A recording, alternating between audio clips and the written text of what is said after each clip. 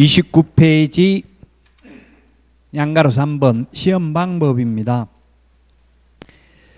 동그라미 1번에 보니까 시험은 1차 시험과 2차 시험으로 구분해서 시행합니다.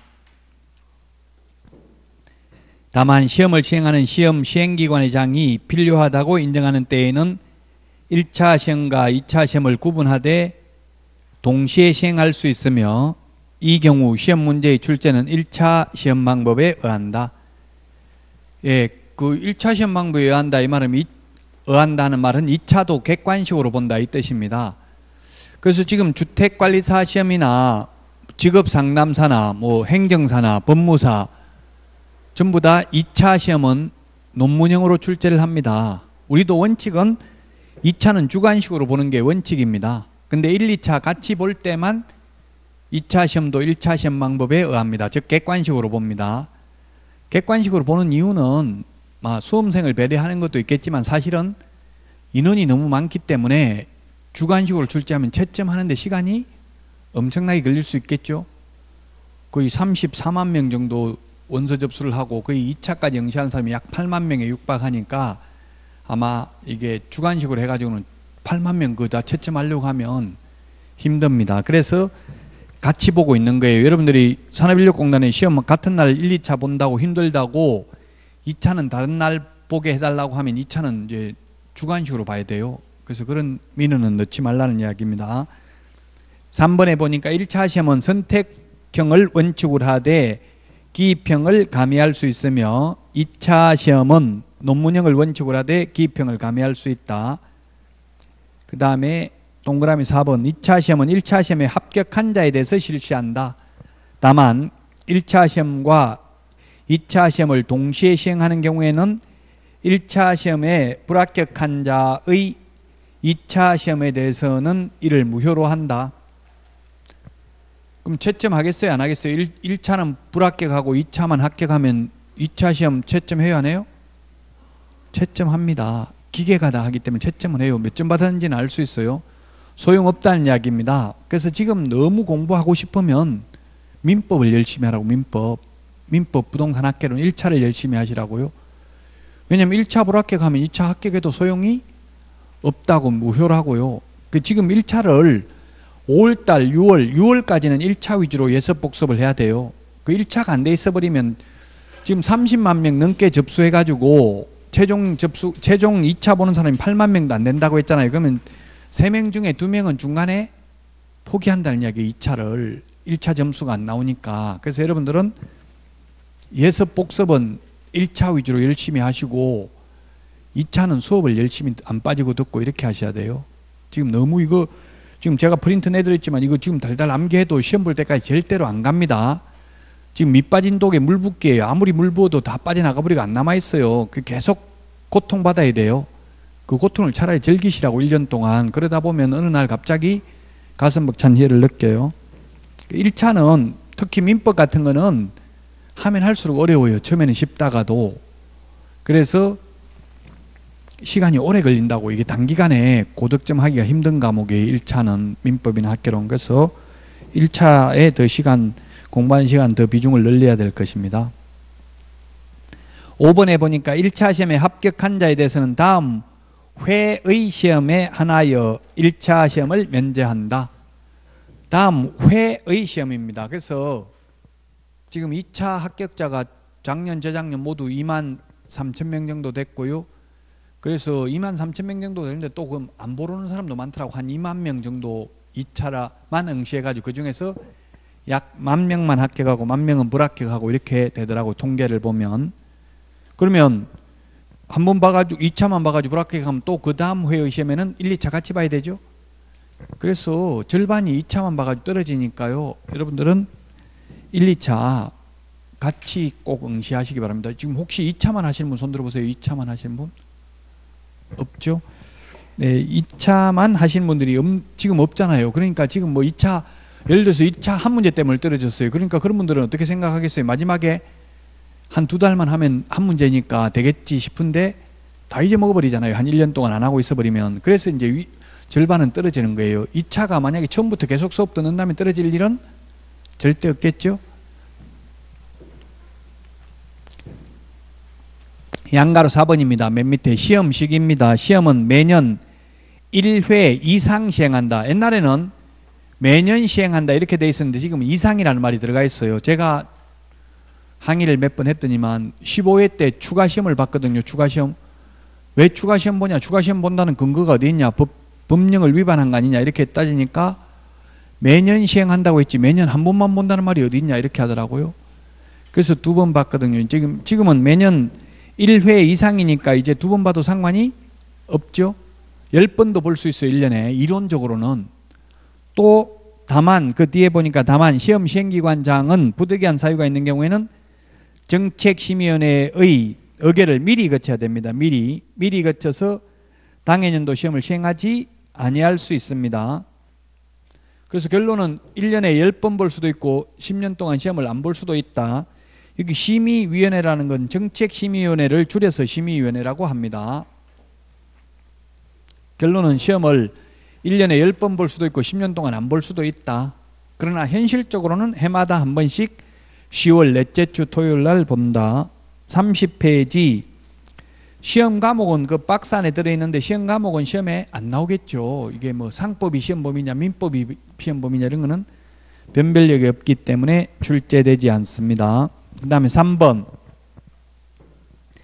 정책심의위원회입니다. 정책심의위원회는 국토교통부에 둘 수 있습니다. 둘 수 있다. 밑줄 치놓으세요. 맨 마지막 동그라미 1번 맨 마지막에 둘 수 있다. 시험에 둔다 하면 X입니다. 둘 수 있다. 그 1년에 회의 한 번도 안 하거든요. 근데 둔다라고 하면은 무조건 사무실 하나 비워놔야 되잖아요.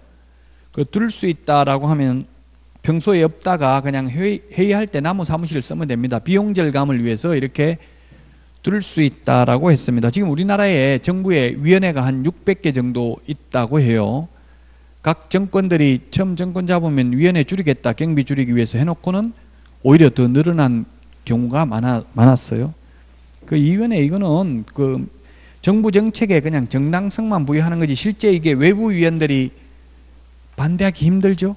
왜냐하면 이거 정책심의회 위원 하면 수당 주고 또 프로필에 정책심의회 위원 역임 이런 거 하나 적을 수 있는데요. 돈 받고 그러니까 반대할 이유가 없죠. 반대하면 다음에 위촉 안 하겠죠. 그 실제로는 이거 그냥 예산 낭비만 하는 거예요. 그냥 민주적 정당성을 부여하기 위해서 위원회를 두고 있습니다. 지금 둘 수 있는데 현재는 두고 있습니다.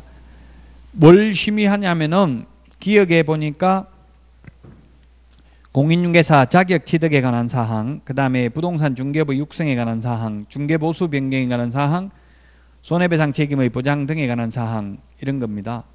그럼 중개보수 올리려면 정책심의원회 의결 거쳐야 되고요. 그 다음에 리얼에 이제 지금 협회 같은 데서는 공제료를 올려달라고 하거든요. 지금 공제 1억 가입하잖아요. 그걸 2억으로 올리고 공제료도 올리는 걸로 좀 해달라고 하거든요. 그래서 그런 거 공제를 올리는 경우에도 정책심의원회 의결을 거쳐야 됩니다. 동그라미 3번 이게 출제됐었습니다. 공인중개사 정책심의위원회에서 심의한 사항 중 공인중개사 시험 등 자격 취득에 관한 사항의 경우에 시도지사는 따라야 된다. 즉 자격 문제, 시험 문제가 시도별로 다르면 안 되잖아요. 난이도가. 그래서 이런 것들은 따라야 된다는 뜻입니다. 나머지는 시도의사는 따라야 될 의무 없습니다. 정책심의원회 의결 사항에 대해서 동그라미 3번이 시험에 출제됐었고요. 그 다음에 양가로 2번 정책심의원회 구성입니다. 위원장 일명 제외가 아니라 포함입니다. 포함. 시험에는 포함 대신에 이걸 제외 이렇게 합니다. 포함 네모하십시오. 포함. 포함하여 7명 이상 11명 이하, 7명 이상 11명 이하 밑줄 치시고요. 자, 그러면 제가 프린트 오늘 내드린 거에 보면 또 7은 7일대로 정리가 되어 있습니다. 우리 핵심 비교 정리 39번에 보면 찾아만 보자고요. 이거 지금 암기하라는 거 아닙니다. 39번 오늘 내드린 핵심 비교 정리 39번에 동그라미 6번에 있죠. 동그라미 6번.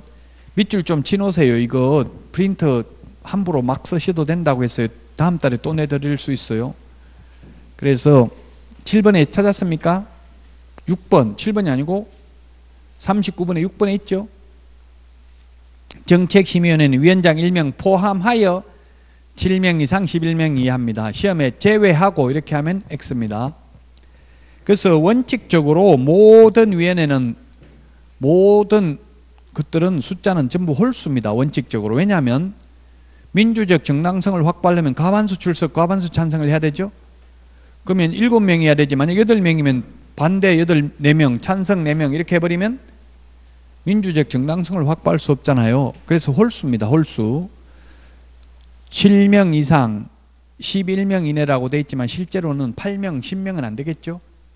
홀수입니다. 홀수. 위원장을 포함해야 되지 만약 제외해버리면 짝수가 되잖아요. 제외하고 7명이면 포함해버리면 짝수가 되죠. 짝수가 되면은 민주적 정당성을 확보할 수 없어요. 만약에 가부당, 가부동수가 나오면. 그래서 위원장 1명 제외가 아니라 포함하여 7명 이상 11명 이하입니다. 그 여러분들이 숫자 같은 거 나오면 요거 오늘 내드린 비교 정리 프린트 이걸 보시고 한번 찾아보시면 돼요. 7일, 10일, 3년, 5년 이런 거 다 정리를 해놨습니다. 그래서 공인중개사법의 특징은 리갈 마인드, 즉 법적 사고력을 요하는 문제 없다고 했어요. 기초가 있어야 이 공부할 수 있는 과목이 아닙니다. 숫자 7 이거 기억하는데 뭐 기초 지식이 필요한 거 아니잖아요. 자, 그 다음에 심의위원회 위원장은 국토교통부 제1차관, 국토교통부 제1차관 밑줄 치놓으십시오. 국토교통부 장관이 되고 하면 X입니다. 제1차관이고 위에는 다음 어느 하나에 해당하는 사람 중에서 국토교통부 장관이 임명 위촉한다. 국토교통부 장관 밑줄 치십시오. 임명 위촉한다. 시험에 위원장이 임명 위촉한다 하면 X입니다. 위원장이 아니라 국토교통부 장관이 임명 위촉합니다. 국토교통부 장관이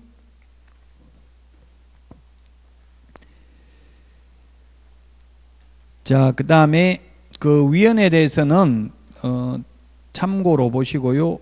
다음 기회하고 이거 세부적인 거 그 위원 요건은 시험에 잘 나오지는 않습니다.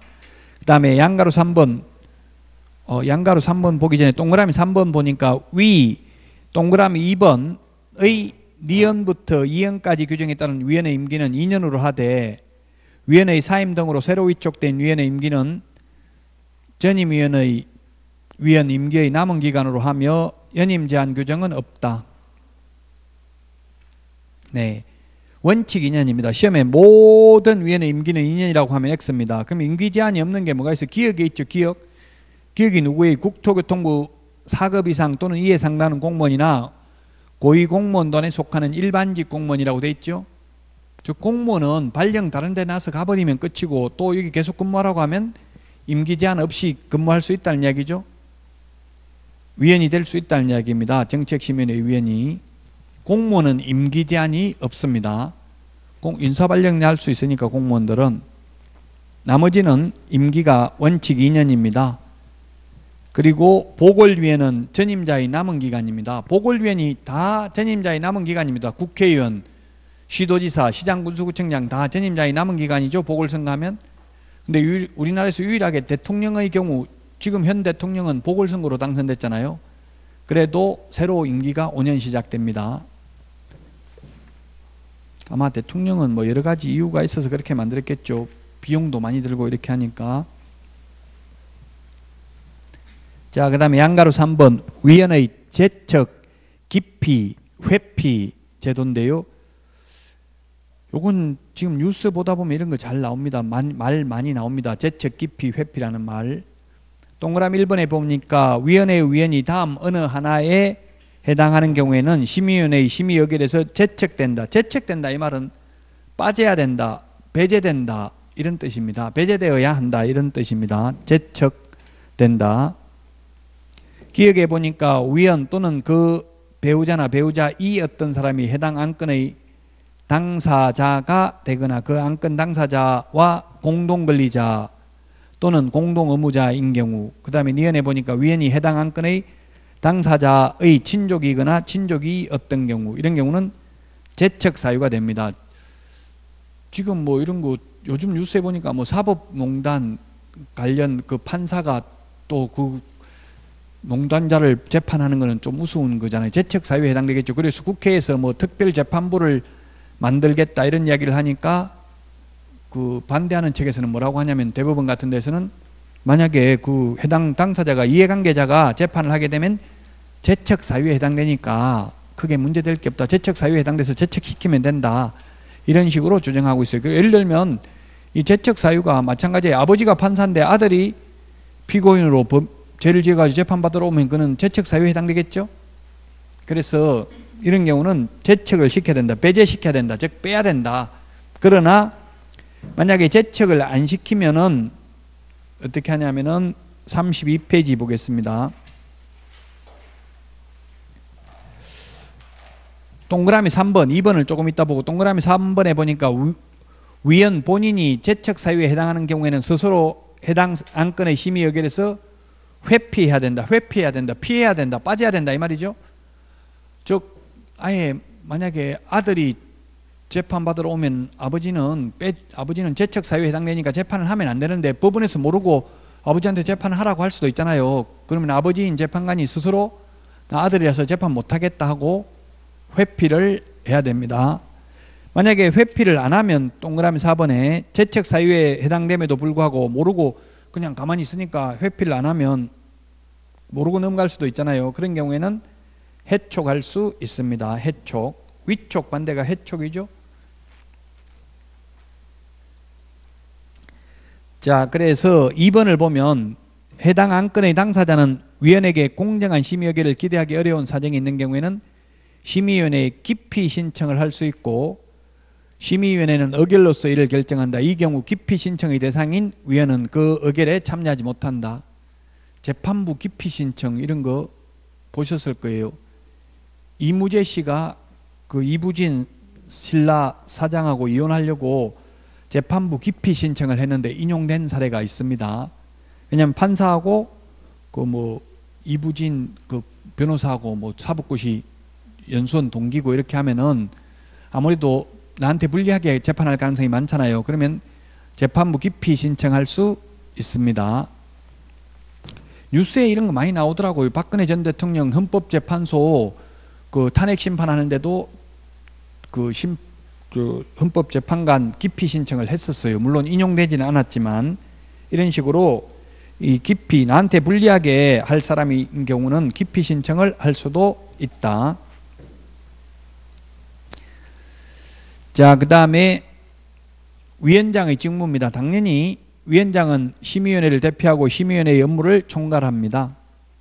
그리고 2번 위원장이 부득이한 사유로 직무를 수행할 수 없는 때에는 위원장이 미리 지명한 위원, 위원장이 미리 지명한 위원 밑줄 치십시오. 위원장이 미리 지명한 위원이 그 직무를 대행합니다.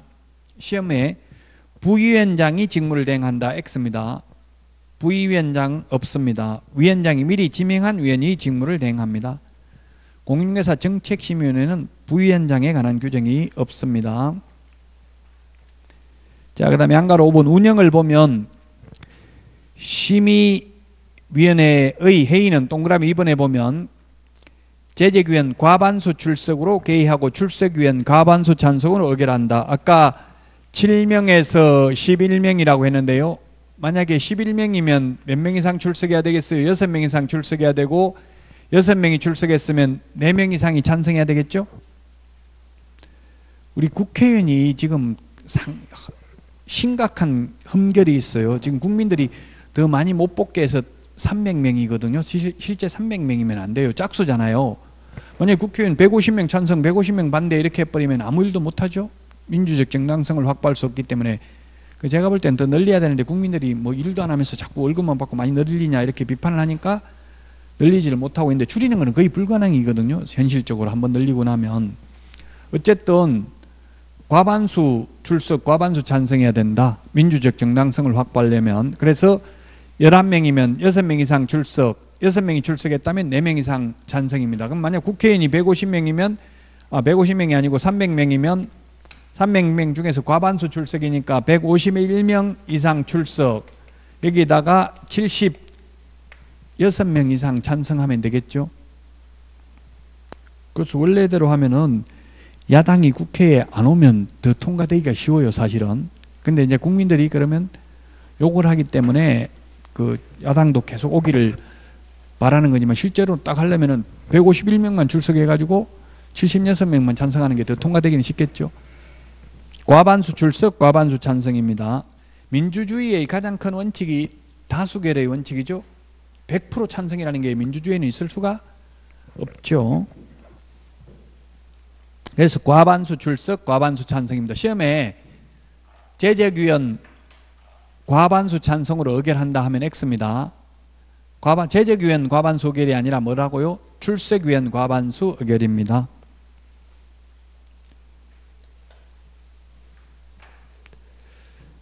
자, 그 다음에 3번. 위원장은 심의위원회 회의를 소집하려면 회의 개최 7일 전까지입니다. 7일. 7일 내모하십시오. 7일 전까지 회의 일시, 장소, 안건 을각 위원에게 통보해야 됩니다. 7일 한번 찾아볼까요? 오늘 프린트 비교 정리 첫날이니까 어디에 있는지 한번 보라고요. 39번에 39번에 14번에 있죠. 39번에 14번. 밑줄 치세요. 39번에 14번. 오늘 핵심 비교 정리 내드린 거 찾았습니까? 39번. 이렇게 다 정리되어 있다고요. 알아야 될 거는 이 두 장, 두 장이 다 정리되어 있어요. 1년 동안 알아야 될 거. 이 두 장만 다 알고 있으면 80점은 받는다고요. 7일입니다. 7일. 자, 다만 긴급하게 개최하여야 하거나 부득이한 사유가 있는 경우는 회의 개최 전날까지 통보할 수 있다. 자, 그 다음에 맨 밑에 보면 시, 수당, 양가로 7번 수당을 보면 심의위원회에 출석한 위원 및 관계 전문가에게는 예산의 범위 안에서 수당과 여비를 지급할 수 있다. 법을 참 잘 만들어 놨죠. 할 수 있다. 이 말은 안 할 수도 있다. 돈 없으면. 예산의 범위 안에 씁니다. 예산 없으면 안 할 수도 있다는 이야기입니다. 물론 현실적으로는 합니다. 33번 동그라미 2번 메뉴에 다만 공무원인 위원이 그 소관 업무와 직접적으로 관련되어 심의위원회에 출석하는 경우에는 그러하지 아니하다. 그런 경우에는 정책심의위원회 예산에서 돈 주지 않는다는 이야기입니다. 공무원은 공무원 물론 돈 줍니다. 그 해당 부서 예산에서는 주지만 출장하면 출장비 따로 주죠. 정책심의위원회 예산에서 지급하지는 않는다는 이야기입니다.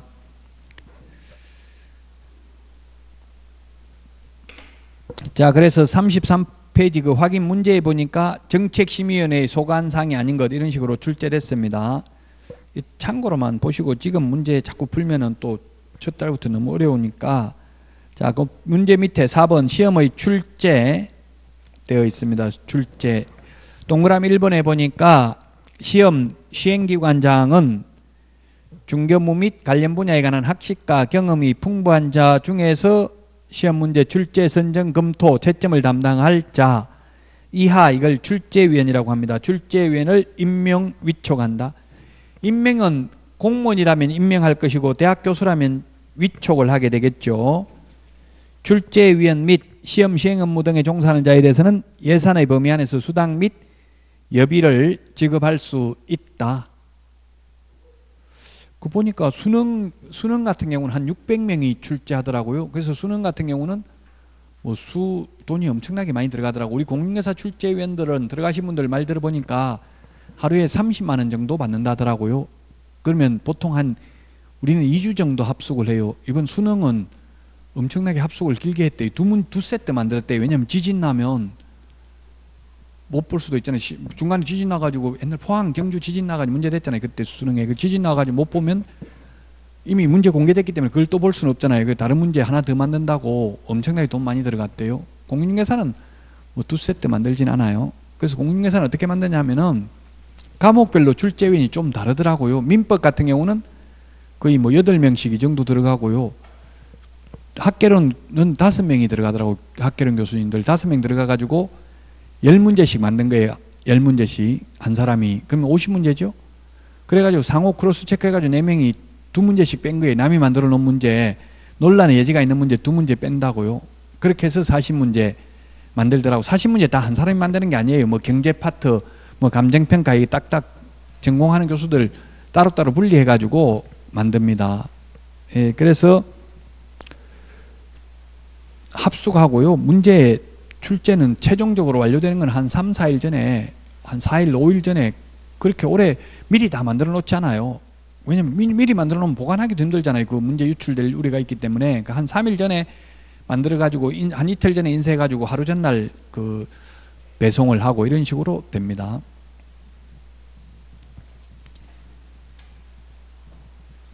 동그라미 2번 출제위원으로 임명 위촉된 자는 시험 시행기관의 장이 요구하는 시험 문제 작성 또는 채점상 유의사항 및 서약서 등에 따른 준수사항을 성실히 이행하여야 한다. 그 뭐라고 돼 있냐면은 확약서에 보면 출제위원 들어갔다는 사람 들어갔다는 말 죽을 때까지 하지 않겠다 이런 거 또 문제 유출하지 않겠다 이런 거 확약서 씁니다. 동그라미 3번 시험 시행기관장은 규정을 위반함으로써 시험의 신뢰도를 크게 떨어뜨리는 행위를 한 출제위원이 있는 때에는 그 명단을 다른 시험 시행기관의 장 및 그 출제위원이 소속하고 있는 기관의 장에게 통보해야 된다. 부정행위하면 명단을 통보해야 된다고 대학 교수면 총장한테 통보하게 되겠죠. 34번 국토교통부 장관 또는 시도의사는 시험 시행기관의 장이 명단을 통보한 출제위원에 대해서는 그 명단을 통보한 날부터 5년 5년 내모하십시오. 5년간 시험의 출제위원으로 위촉하여서는 아니 된다. 제가 출제를 모의고사 해봐도 문제 내려고 하면 이런 거 5년을 3년으로 바꾼다든지 이렇게 하면 문제 내기가 쉬워요. 그래서 이런 식으로 출제한다는 이야기입니다. 자, 5년 우리 프린트 오늘 핵심 비교 정리 프린트 5년이 41번에 41번에 동그라미 2번에 있죠. 부정행위 한 출제 부정행위 출제라고 돼 있는데 출제위원이죠. 출제위원. 길게 적어버리면 한 줄 더 늘어나서 못 적은 거예요. 부정행위를 한 출제위원 5년간 자격 박탈이다. 즉 출제위원 부정행위하면 5년간 출제위원으로 위촉될 수 없다는 이야기입니다. 한 번 부정행위하면 5년이 아니라 영원히 거의 못 들어간다고 봐야 돼 현실적으로는. 그래서 출제를 보면 1회 때부터 8회 때까지는 뭐 그 강남대학교 이창석 교수님 지금 명예교수인데 지금 부동산 학개론에 보면 계보가 나오잖아요. 그 이창석 교수님 뭐 안정건 교수님 이런 거 나오죠. 이창석 교수님 문영기 교수님 광원대 이런 분들이 1회 때부터 8회 때까지 주도했고요. 그 다음에 9회 때부터 15회 때까지는 안정건 교수님 이런 분, 한성대학교 이런 분들이 주도를 했고 지금은 이제 출제하러 가는 분들이 여기 다른 분들이 출제하러 들어갑니다. 제가 이름은 다 알고 계시 알고 있는데 공개하지는 않겠습니다.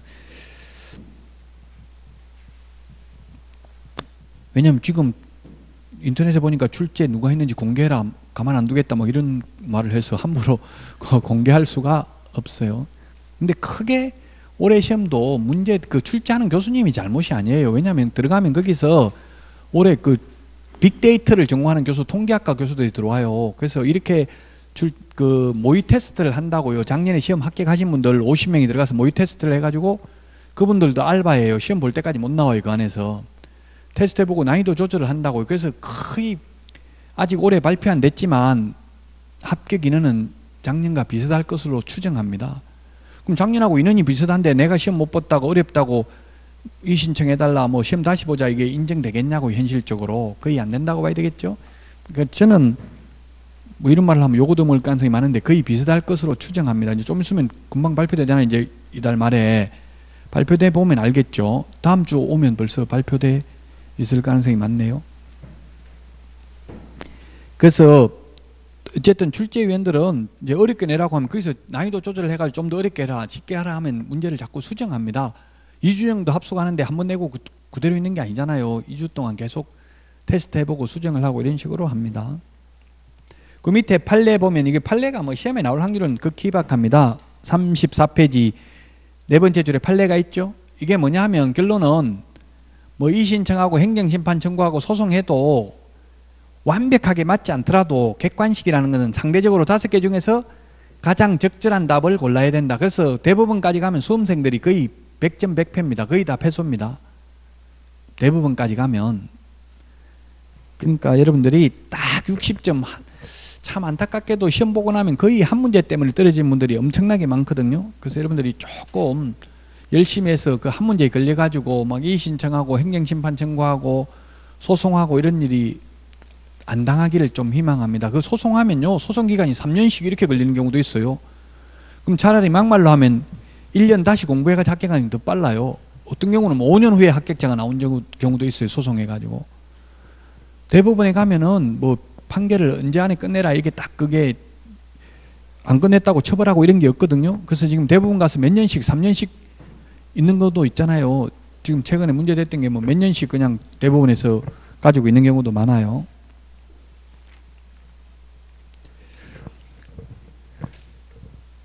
그 실제로는 완벽하지 않은 거 올해도 물론 완벽하지 않은 문제가 있었고요. 완벽하지 않아도 이 신청 받아주고 안 받아주고는 뭘로 가지고 결정을 하냐면 합격 인원 가지고 결정해요. 합격 인원이 적으면 뭐 별로 잘못된 거 아니라도 이 신청 받아줘 가지고 합격자를 좀 더 맞추고요. 합격자가 이미 작년보다 많, 만약에 많다고 하면 설령 잘못됐다 하더라도 이 신청 인정 안 해줍니다. 잘못된 걸 알아도 그럼 안 하면 어떻게 해야 돼요? 행정심판 청구해야 되죠? 그럼 소송해야 되죠. 그러면서 행정심판 소송하면은 시간이 많이 지나가 버리면 잊혀지잖아요. 협회에서도 막 지금 합격자 많이 나온다 하고 이렇게 하는데 행정심판이나 행정소송을 하면 몇 년 지나서 나올 수도 있기 때문에 이 신청은 인정이 안 될 수도 있다. 설령 좀 잘못됐다 하더라도. 자, 그 다음에 시험 실시 5번에 양가로 1번 시험 위탁입니다. 원래 시험은 누가 해야, 해야 된다 했어요? 맨 처음에 시도지사가 하는 게 원칙이라고 했죠? 근데 시도지사가 위탁을 할 수 있습니다. 어디다가 공기업, 준정부기관 또는 협회에 위탁할 수 있습니다.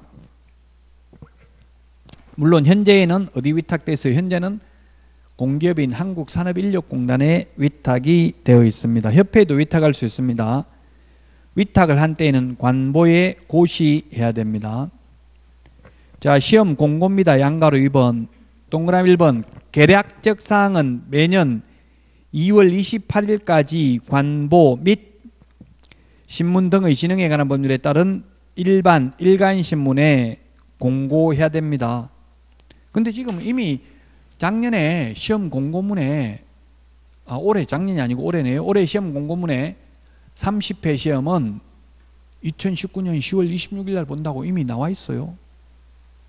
10월 넷째 주 토요일 날. 그 이게 옛날에 이런 게 없다가 생긴 게 옛날에는 미성년자는 못 본다고 해놓으니까 미성년자 나이는 어떻게 계산해요? 생일에 따라 다르잖아요. 그럼 맨날 국토부에 전화해가지고 나 생일 언제인데 시험 언제 보냐? 공부해야 되냐 말아야 되냐 이렇게 질문 계속하고 이러니까 이제 예측된 삶을 살 수 있도록 미리 알려주는 겁니다. 2월 28일까지는 관보 및 일간신문에 공고해야 된다. 그 다음에 동그라미 2번은 확정 공고는 시험 시행일 90일 전까지 관보 및 일간신문에 공고합니다. 시험 장소, 시험 방법, 합격자 결정 방법 및 응시수료 반환에 관한 사항. 그래서 아마 이제 시험 나중에 원서 접수하면은 여러분들이 빨리 접수를 해야 돼요. 왜냐하면 그 학교 어느 학교 어느 학교에 친다 이렇게 나와 있는데 내가 가까운 학교 원하는 학교 그 사람 다 차버리면 이제 더 이상 접수 못해요 거기는. 그러니까 접수 만약에 8월 달에 접수를 하는데 접수하라고 하면 바로 첫날 접수하는 게 좋아요. 응시 원서입니다. 35페이지. 시험 응시하는 자는 당해 지방자치단체 조례가 정하는 수수료를 납부해야 됩니다. 시도의사가 시행하는 경우 다만 동그라미 3번 국토교통부 장관이 직접 시험을 시행하는 경우에는 국토교통부 장관이 결정 공고하는 수수료를 내야 됩니다. 아직까지 한 번도 국토교통부 장관이 직접 시험을 시행한 적은 없습니다. 그 다음에 4번 시험 또는 자격증 재교부 업무를 위탁한 경우에는 당해 업무를 위탁받은 자가 위탁한 자의 승인을 얻어서 결정 공고하는 수수료를 내야 됩니다. 그게 지금 이제 여러분들이 이 수수료의 동그라미 4번, 동그라미 이 4번 수수료 결정 공고한 수수료가 얼마 냈냐면 올해 2만 8천 원 냈어요. 최근에 계속 2만 8천 원 냈어요. 이게 감독관들이 어, 10만 원 정도 받는다더라고요. 출제 감독하면 감, 감독하러 갈라고 하겠어요? 안 하겠어요? 사람들이? 별로 안 원한대요. 그 수능 감독도 수능 감독이 이틀 동안 해야 된대요. 실제로는 하루 예비 소지까지 해서 한 12만 원 정도인가 준대요. 그 서로 안 가려고 한대 선생님들. 왜냐면 갔다가 잘못되면 책임져야 되잖아요. 그 감독 잘못해가지고 문제 사고 나면 문제 생기면 책임은 져야 되고 보수는 얼마 안 되기 때문에 근데 뭐 거의 할당해가지고 강제적으로 예, 거의 가야 되나 보더라고요.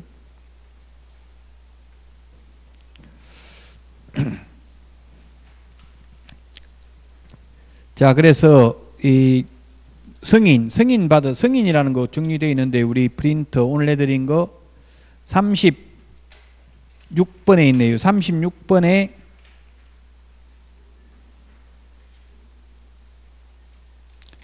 동그라미 5번에 있네요. 위탁받은 자가 위탁한 자의 성인을 얻어서 그 줄여놨는데 결정 공고하는 수수료 내야 된다는 뜻입니다. 동그라미 5번 찾았죠? 위탁받은 자가 위탁한 자의 성인을 얻어서 결정 공고하는 수수료 내야 된다. 그게 2만 8천 원이었습니다. 최근에는 양가로 4번 응시수수료 반환입니다. 응시수료 반환.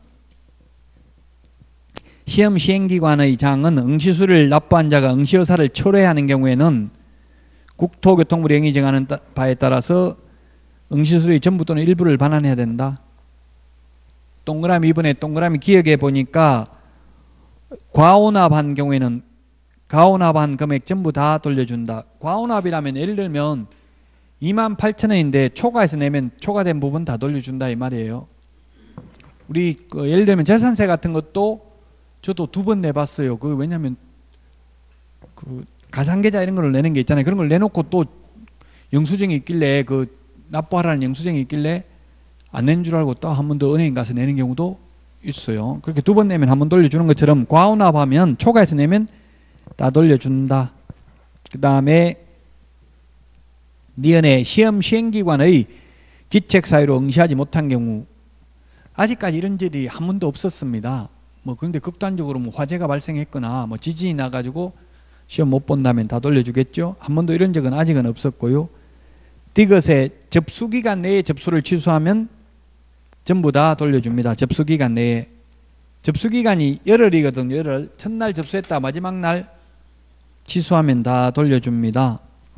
그 다음에 리얼에 원서 접수 마감일 다음 날부터 7일 이내에 접수를 취소하는 경우 100분의 60 미험해 보니까 이 7일이 경과한 날부터 시험 시행일 10일 전까지 접수를 취소하는 경우에는 100분 50, 50% 돌려줍니다. 7일이라는 숫자 한번 찾아볼까요? 39번 오늘 프린터 39번에 동그라미 8번 동그라미 9번 밑줄 치놓으세요. 일단 밑줄 다 치워보세요. 그러면 한 두 달 지나고 나면 거의 다 밑줄 치놓게 되면은 이걸 앞으로 1년 동안 계속 반복하면 지금은 고통받지만 나중에는 다 기억난다고요. 찾았습니까? 8번, 9번, 39번에. 그래서 접수 인원이 보면 자꾸 줄어들어요. 산업인력공단 그 홈페이지에 보면 왜 그렇겠어요? 중간에 취소해가지고 돌려받는 사람이 34만 명 접수해가지고 한 거의 10만 명 가까이, 아, 10만 명이 아니라 한 2만 명 가까이 그 돈 돌려받았더라고요. 학원 다니는 분은 없겠죠. 그냥 인터넷으로 조금 하려고 책만 샀다가 제대로 공부 못하고 돌려받는 경우도 있어요. 여러분들은 절대 돌려받으면 안 되겠죠. 거의 8월 달에 접수하는데 그 지금 몇 달 안 남았는데 그 돈 돌려받으려면은 그 정도 공부가 안 됐다는 이야기잖아요. 그냥 미리 공부 좀 하시라고요. 돌려받을 생각하지 마시고. 합격자 결정입니다. 합격자 결정.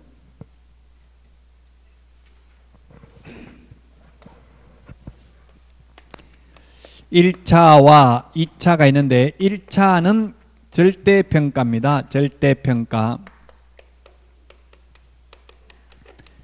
1차는 무조건 절대평가예요. 그래서 40점 밑으로 과락 없이 평균 60점이 무조건 합격이죠. 1차는. 40점 밑으로 과락이 있으면 안 됩니다. 2차는 원칙이 절대평가입니다. 2차는 원칙이 절대평가다. 그래서 2차도 40점 밑으로 과락 없이 평균 60점 이상이면 합격입니다. 2차도. 근데 예외적으로 2차의 경우에는 예외적으로 상대평가를 할 수도 있고요. 상대평가. 상대평가는 2회부터 9회까지는 상대평가했습니다. 2회부터 9회 시험까지. 2회부터 9회까지는 2년에 3,000명 선발했어요. 그 카트라인이 80점 넘은 적도 있어요. 7회 때. 그러다 보니까 항의할 거 아니에요. 80점 받고 떨어지는 시험이 있냐. 막 이렇게 항의를 하니까 8회 때 어렵게 내가지고 엄청나게 어렵게 냈었어요. 8회 때 1995년도에. 93년도에 쉽게 내가지고 상대 평가를 할 수도 있고요. 근데 지금 10회부터 지금 29회까지는 전부 절대평가였어요. 당연히 올해도 절대평가입니다. 다만 이론적으로 상대평가 할 수 있다는 이야기입니다. 그 다음에 예외적으로 최소 선발 인원이나 최소 선발 비율을 공고할 수 있다. 올해 최소 작년에 뽑은 거하고 비슷하게 최소 2만 명은 선발하겠다. 올해도 2차 응시자 대비 최소한 30%는 최근 2년간 31%거든요. 합격률이 2차 응시자 대비. 그 다음에 최소 선발 인원이 2만 3천 명, 2만 2천 명이었습니다. 그래서 올해도 2만 명은 뽑겠다 이렇게 할 수 있다고요. 근데 이렇게 한 적 한 번도 없습니다. 아직까지 이론적으로는 있고요. 그래서 절대평가는 옛날에 했다고 했고요. 지금 아, 아, 상대평가를 옛날에 했다 했고요. 지금은 절대평가입니다. 지금은 원칙에 의해서 시험을 봅니다. 예외적으로 하려면 미리 공고를 해야 됩니다. 국토부에서 앞으로 상대평가 할 수도 있다. 국토부에서는 말 안 했는데 자꾸 언론에 할 수 있다고 나오니까 국토부에서 만약 하더라도 최소한 5년 전에 알려주겠다.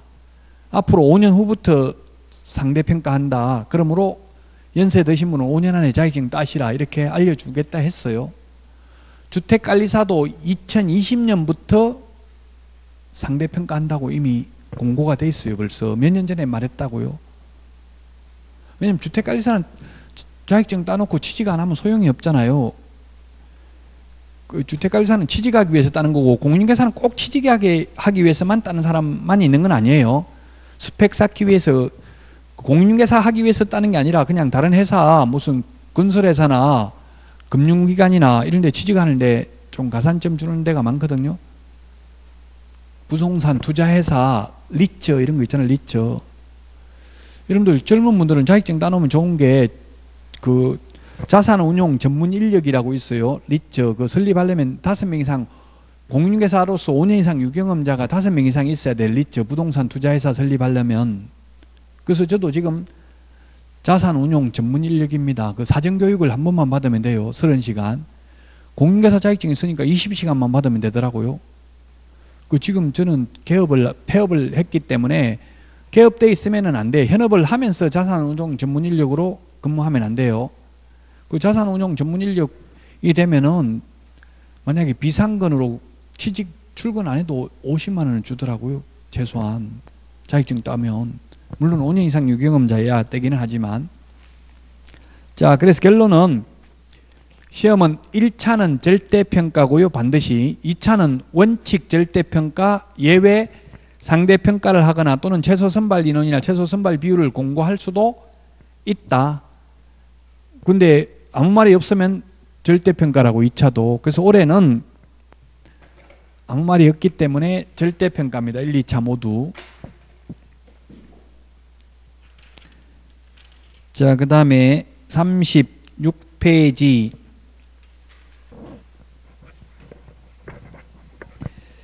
삼십페이지 표는 이때까지 했던 걸 정리해 놓은 거고요. 표 박스는 그 다음에 36페이지 표 박스 밑에 7번 합격자 공고와 자격증 교부입니다.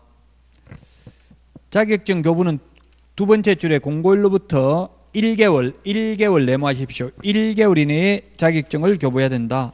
만약 시험에 이런 걸 제가 출제를 해보니까 이런 거 숫자 바꾸는 게 최고 문제 내기 쉬워요. 이 1개월 대신에 30일 이렇게 하면 X가 되겠죠. 이런 문제 내기가 쉽기 때문에 출제위원들이 이런 걸 관심을 가지고 본다고요. 자, 1개월이 우리 프린터에 몇 번에 있습니까? 1개월이 1개월이 45번에 있죠? 프린터 비교 정리 45번에 동그라미 1번 밑줄 치세요. 형광펜으로 색칠을 하시든지. 자격증 교부 1개월 이내에 해야 됩니다. 시험에 2개월 이내에 해야 된다. X 30일 이내에 해야 된다. X로 출제됐어요. 1개월하고 30일하고 우리가 사회생활 할 때는 비슷하지만 시험에 나오면 달라요. 시험에 나오면 1개월은 28일일 수도 있고 29일일 수도 있고 30, 31일일 수도 있죠. 그래서 1월 이내에 자격증 교부합니다. 2월 이내에 교부해야 된다. X로 출제됐다. 그 다음에 2번 자격증을 분실을 하게 되면은 재교부 신청을 할 수 있습니다. 동그라미 3번 재교부 신청은 자격증을 교부한 시 도지사에게 제출합니다. 모든 결정권자와 변경권자는 동일합니다. 자격증 준 사람이 자격 취소도 하고요. 자격증 재교부도 하고 자격증 반납도 받습니다. 자격증을 교부한 사람이 줬던 사람이 빼앗는다고요. 모든 결정권자와 변경권자가 동일하다. 동그라미 4번 자격증 교부대장은 전자적 처리가 불가능한 특별한 사유가 없으면 전자적 처리가 가능한 방법으로 작성 관리해야 된다.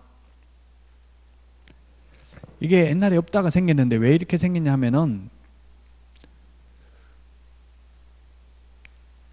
그 자격증 없는 사람이 위조된 자격증 가지고 등록을 해서 적법하게 중개업을 한 사례가 적발됐어요. 위조된 자격증 사가지고 아버지가 딸 주려고 자격증 두 개를 샀어요. 사가지고 두 번째는 싸게 줬더라고요. 700만 원인가 줬더라고. 처음에는 2천만 원인가 주고 두 개 사니까 좀 싸게 해달라 해가지고 그 등록해가지고 중개업을 했어요. 그런데 지금은 이제 전자적 처리가 가능한 방법으로 작성 관리되기 때문에 등록할 때 자격증 제출하라고 하지도 않습니다. 직접 확인해요. 전산화돼 있으니까 제가 등록해 보니까 개업해 보니까 제 주민등록번호 입력하니까 자격증 언제 땄는지 다 나오더라고요. 그래서 어, 이 우리 프린터 50번 한번 볼까요? 그 50번 51번이네요. 51번에 보면 맨 마지막 페이지 51번에 보니까 동그라미 1번에 등록 신청할 때 동그라미 2번 분사무소 설치 신고할 때 동그라미 3번 소속 공개사 고용 신고할 때 자격증 미제출이라고 돼 있죠. 동그라미 1번 뒤에 자격증 미제출이라고 돼 있잖아요. 자격증 제출 안 해요. 옛날에 했거든요. 왜 안 해? 전산화돼 있기 때문에 제출할 필요가 없다고요. 주민등록번호 맞추면 이제 자격증 있는지 없는지 가짜 자격증 가지고 이제 개업할 수 없다고요. 전산화돼 있기 때문에 다 자격증 있는지 없는지 뜹니다. 부정행위 하면 8번 시험 부정행위자 시험 몇 년간 못 본다고 했어요. 부정행위 하면 그 시험을 무효로 하고 시험을 무효로 하고 무효 처분일로부터 5년간 응시 자격이 정지된다. 5년 내모하십시오. 5년 5년간 시험 볼 수 없다. 그 다음에 동그라미 3번 자격 취소되면 3년간 시험 볼 수 없다. 5년, 3년 우리 프린터에 다 정리되어 있습니다.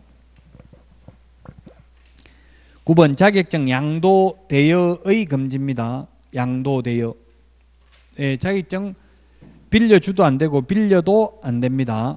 이렇게 자격증 양도 대여하거나 양수 대여받으면 1년 이하 이전액이나 천만 원 이하의 벌금에 처하고요. 또 빌려준 사람은 자격 취소 사유에도 해당됩니다. 자격증 빌려주면 안 된다. 양도하는 사람은 없고요. 양도가 될 수가 없죠. 이거는 일신 전속적이니까 운전면허증을 팔아먹을 수는 없죠. 양도 대여 대상이 양도 대상이 될 수가 없습니다. 그 현실적으로는 대여한 사람은 많이 있습니다. 빌려준 거예요. 팔아먹을 수는 없고. 양도 대여하면 안 된다. 38페이지 양가로 2번 유사명칭 사용 금지 하면 안 된다. 공인중개사 자격증이 없는 사람은 공인중개사라는 말을 쓰면 안 됩니다. 그래서 유사명칭도 안 된다. 판례가 대표자라는 말을 쓰면 안 된다. 대표자. 그 자격증 없는 사람은 명함에다가 대표, 사장, 회장, 오너 이런 말 쓰면 안 돼요. 보통 현업에서 보면 현업에서는 보면 돈 투자한 사람 아마 여러분들도 합격하면 모집 공고에 보면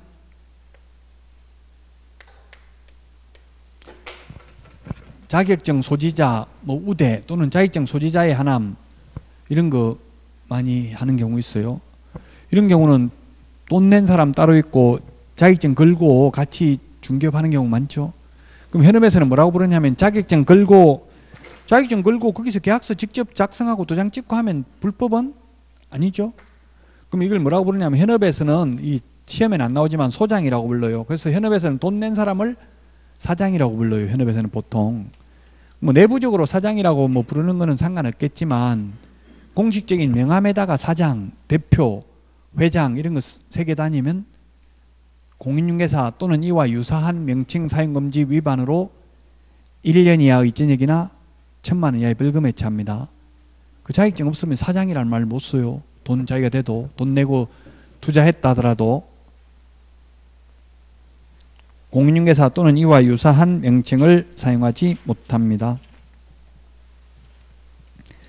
41페이지 다 했고요. 41페이지 11번 41페이지 그 11번 오타가 책에 뭐 한, 한두 개 있는데 그 11번 11을 7일로 좀 고쳐 주십시오. 이거 오타입니다.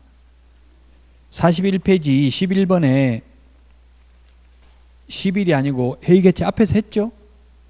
7일로 고쳐 주시라고 7일.